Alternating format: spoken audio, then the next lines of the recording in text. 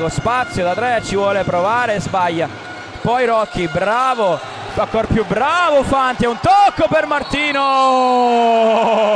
E antisportivo carestrissimo di Andrea Martino e il fallo di Casale giudicato antisportivo. In discesa adesso per la Supernova. Per cui un tiro e rimessa per Fiumicino per cui cioè fallo è già bonus per la vittoria